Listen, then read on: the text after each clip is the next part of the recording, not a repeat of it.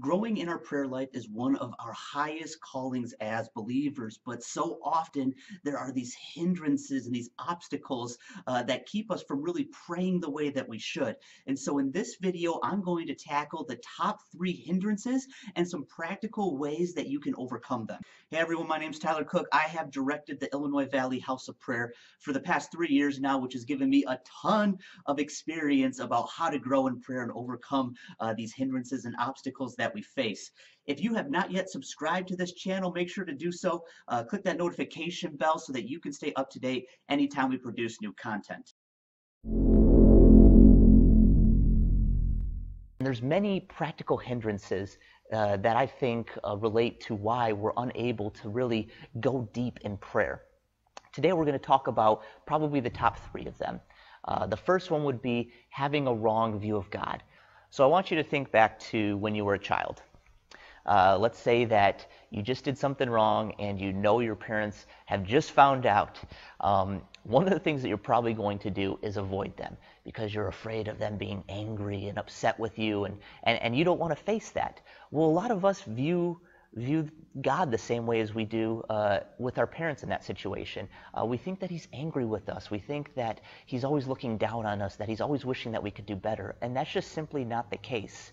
God loves you, He loves me. Uh, in the deepest way possible, the same way that he loved Jesus, that's how Jesus loves us. Uh, once we begin to understand that, that's going to encourage us to spend time with Him in prayer because we're no longer coming to the angry parent. We're now coming to the loving Father who just adores us and wants to spend time with us. To go along with the wrong view of God, many of us have a wrong view of prayer. Um, I know that I used to feel this way, and, and there's probably many people, Christians and non Christians alike, who still feel this way. Uh, they, they see prayer as a boring ritual. Um, it's devoid of power. It's something that we're just supposed to do for some odd reason because doesn't God know everything, anyways? So why are we just sitting here telling Him what He tells us to tell Him? Um, it just doesn't seem to make very much sense. But as we've talked about in previous uh, sessions, prayer is about that connection. That's why He's bringing this about. That's why He wants us to talk to Him because He wants that connection. And uh, once we begin to develop that view of prayer as a time of connecting with God, it will really help us to deepen our prayer life. And so, through that connection, we now are able to uh, experience great power from God. We're able to have expectation. Uh, Mark 11, 23 through 24 says, Truly I tell you, if anyone says to this mountain, Go, throw yourself into the sea, and does not doubt in their heart, but believes what they say will happen, it will be done for them. Therefore, I tell you, whatever you ask for in prayer, believe that you have received it, and it will be yours. We must come to prayer with an expectations that if we're praying according to God's will, that those prayers will be answered.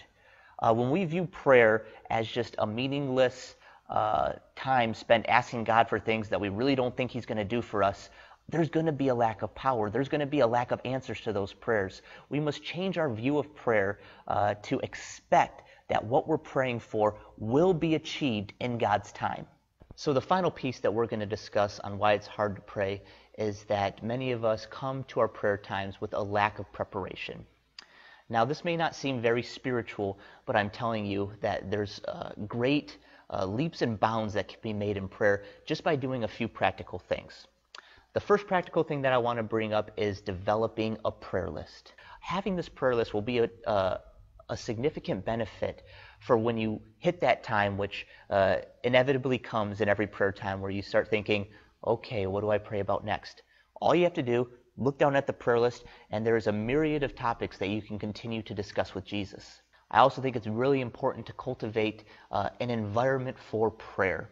Um, now, what I mean by that is you don't have to have this this perfect little bubble that, that you have to go to to pray. Like I said, you can pray anywhere, anytime, and, and I encourage you to do that. But those times that you designate as, as your prayer times, like Jesus when he when he uh, got away from the crowds and went away in the wilderness to be with God, for those times with you, having a place to go uh, that is quiet, that that brings about peace, that encourages prayer, is going to be extremely beneficial. Well, the final piece of advice I have when it comes to preparing for your prayer time is actually scheduling it into your day.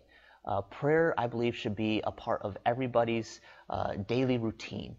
And it's one of those things that often gets neglected because we put in other things in front of it, viewing them maybe that they're more important or that they need to happen. Well, I can always just continue to put prayer off later on in the day. But if you schedule prayer the way that you would schedule a meeting for work or, or some doctor appointment, if you have it in your schedule and you commit before God to, to making that time be a time where you talk to Him and, and spend time listening to Him, I believe it's going to greatly help you to actually accomplish that daily time with, with Jesus.